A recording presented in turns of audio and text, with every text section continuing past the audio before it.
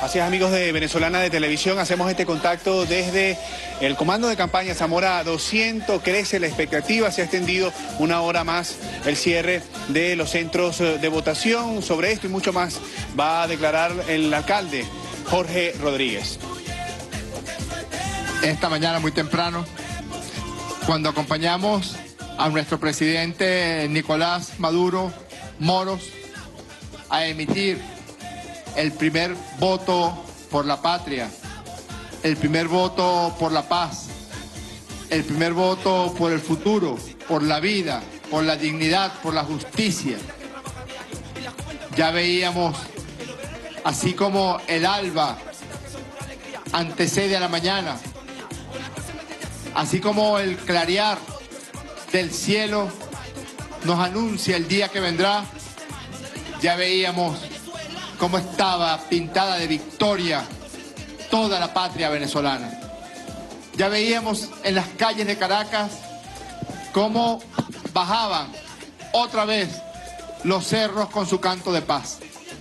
Ya veíamos de las urbanizaciones a las señoras del 4x4, a nuestros jóvenes, a nuestras abuelas y a nuestros abuelos colando el café colectivo para que esa poderosa maquinaria se expresara en un canto de paz, en un llamado a la paz. Después de 100 días de agresiones, después de 100 días de violar el derecho al libre tránsito, el derecho a que una persona pueda ir al médico en el momento cuando le dé la gana y no cuando le dé la gana a quien le tranca la urbanización, el derecho a la educación de nuestras niñas y nuestros niños. Después de 100 días de insultos, de señalarnos por nuestro color de piel, por nuestra condición y por nuestras ideas, pues bajo ese color de piel, bajo esa condición, bajaron esas ideas, bajaron esas sonrisas. Y en este momento, siendo las 6 y 5 de la tarde, la suerte está echada. Tenemos constituyente, tenemos patria buena, tenemos justicia, tenemos paz. Ha sido una jornada emocionante. Es una jornada emocionante. Debió el Consejo Nacional Electoral anunciar la extensión de una hora en el tiempo de votación, puesto que todavía persiste una gran afluencia de votantes. Y esta es una hora en Venezuela en la cual aparece un repunte en la votación. Todavía, hermana, todavía hermano, que no ha acudido al centro de votación porque tuvo que trabajar el día de hoy, porque no pudo durante el tiempo que duró el centro de votación o porque había larga escuela, este es el momento de acudir al centro de votación. A pesar de que ya la suerte está echada y que visto el primer boletín del Consejo Nacional Electoral, le habremos demostrado al mundo que Venezuela ama la democracia, que Venezuela ama la paz, que Venezuela quiere votos y no balas, que Venezuela quiere que nuestros asuntos los resolvamos nosotros y no Donald Trump, y no Juan Manuel Santos, y no Michel Temer. Venezuela resuelve los asuntos de Venezuela. Los venezolanos resolvemos los asuntos de los venezolanos y las venezolanas también. Después de todo este evento, nosotros esperamos que el mundo entero aprenda a respetar la dignidad, la entereza, la valentía de este pueblo. Este pueblo que cruzó ríos crecidos para ir a votar en Torbes, en el estado Táchira. Este pueblo que hoy tuvo demostraciones de heroísmo. Un terrorista le dijo a una coordinadora de un centro de votación que le dijera dónde estaban guardadas las máquinas de votación de ese pueblo. Y esa coordinadora del centro de votación le dijo, me vas a tener que matar, pero no te voy a decir dónde están las máquinas. Y hubo elección en ese pueblo, en ese municipio como hubo elección en los 335 municipios de Venezuela. El mundo debe respetar el resultado del día de hoy. Es un canto de paz, es un canto de amor a la patria. Nunca antes habíamos visto lo que hemos visto el día de hoy.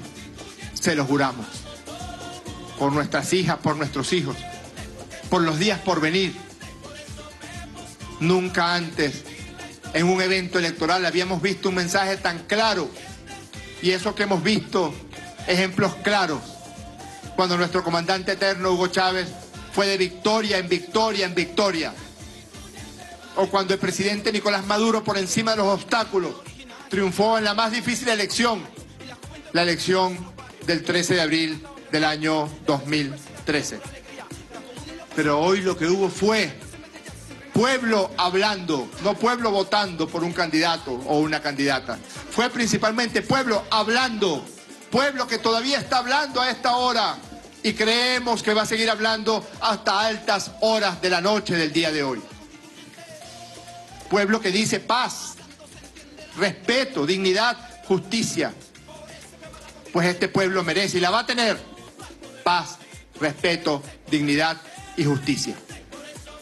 Quedarnos en los centros de votación, no permitir que cierre un, un solo centro de votación mientras haya un solo elector, una sola electora en la cola.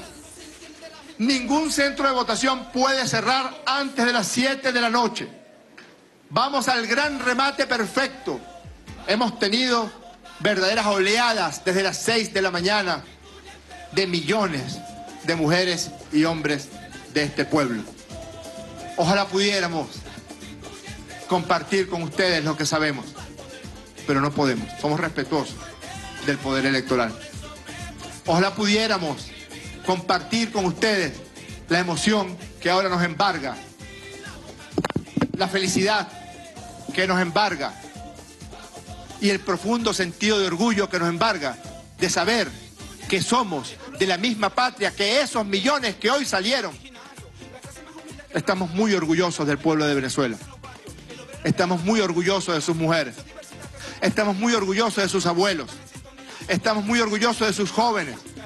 Estamos profundamente orgullosos de las personas con algún tipo de discapacidad que hoy fueron visibilizados, se sintieron visibilizados y se hicieron visibles ante los ojos del mundo entero. Yo me imagino que en el mundo habrá personas que dirán, bueno, ¿y por qué yo no puedo escoger a mis constituyentes? Como lo escogieron los trabajadores y las trabajadoras como lo están escogiendo los consejos comunales, las abuelas, los abuelos, los jóvenes universitarios, las personas con algún tipo de discapacidad. ¿Por qué mi municipio, por más pequeño que sea, no puede escoger un representante ante una Asamblea Nacional Constituyente? ¿Por qué en España las constituciones las hacen las cúpulas, como en Colombia o como en Chile? ¿Por qué no puede ser como en Venezuela? El mundo entero se estará preguntando a partir de mañana y estar haciendo análisis y evaluación de lo que ha pasado aquí hoy, de lo que está pasando aquí hoy. Aun cuando el Consejo Nacional Electoral extendió por una hora el tiempo de votación, mientras haya un solo votante en la cola, el centro debe permanecer abierto, así estemos votando hasta mañana, lunes 31 de julio. Ejemplos heroicos gente que vivía y vive en Baruta y le cerraron las rejas con candado y se vinieron a pie. Gente que vive, en el cafetal, en Chacao, y que no les querían permitir a votar, venir a votar. Se montaron en su bicicleta, por cierto. Déjame darme colita con eso porque vinieron por la ciclovía que construimos aquí en el municipio de Libertador. Para después, bueno, saltarse y llegar hasta el poliedro y fueron horas y horas de miles de personas. ¿Cómo van a invisibilizar eso? Imposible. Ni que se busquen al papá de los papás de la guerra psicológica y de la posverdad. Hoy la posverdad quedó hecha trizas. Rápidamente contestaremos alguna pregunta porque estamos en el momento del remate super final. Inicia la ronda de preguntas Lisandro Rojas de YBKM Mundial. Buenas tardes, alcalde. Eh, quizá no, no, no recuerdo en la historia, al menos de mi existencia, un evento electoral en Venezuela que haya estado rodeado o precedido por mayores amenazas que este evento electoral de hoy. Nunca antes eh, se apostó por, por la no realización de un evento electoral. ¿Cuál es eh, su valoración sobre las palabras del líder de la oposición, Julio Borges, hace quizás menos de un mes, cuando dijo que no permitirían que la constituyente no se llevaría a cabo y hoy esa constituyente es una realidad. Cuando llamó a tomar todos los centros, cuando pidió el apoyo de toda la comunidad del pueblo venezolano para cerrar los centros. Y la última apuesta de la oposición del día de hoy fue su llamado a una abstención general. ¿Cuál es su valoración al respecto? Bueno, mire, el líder de la oposición en Venezuela se llama Donald Trump y los lacayos del el líder de la oposición en Venezuela se llaman Juan Manuel Santos, Michel Temer y no sé qué Kuczynski, que es un señor que es norteamericano que es presidente del Perú. Los otros no son más que marionetas que se mueven según los hilos que sus jefes les ordenan. Ese ha sido uno de los tremendos obstáculos que hemos tenido en el proceso de diálogo en Venezuela. Si Donald Trump no quiere diálogo, pues los otros mueven la cola y se niegan a participar en un proceso de diálogo. Mire, yo creo que hubo un error de cálculo, Lisandro. Creo que volvieron a equivocarse con el pueblo de Venezuela, como siempre se equivocan, como se equivocaron en abril del 2002, como se equivocaron en diciembre del 2002 y en enero del 2003, creyendo que dejándonos sin gasolina iban a lograr doblegar y acabar con la revolución bolivariana y ocurrió exactamente lo contrario. Aquí acaba de ocurrir exactamente lo contrario. Cada vez que amenazaron, esa es la única explicación que tenemos a lo que está pasando en Venezuela en este momento.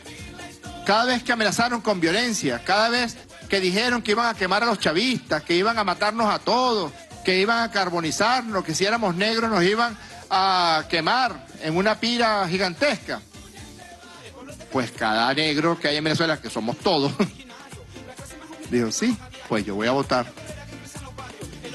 Cada vez que Donald Trump amenazó con sanciones, pero si por estas venas lo que corre es la sangre de unos zarrapastrosos que salieron de aquí, recorrieron 8.000 kilómetros y liberaron todo un continente, el imperio más grande que existía en ese momento, el imperio español.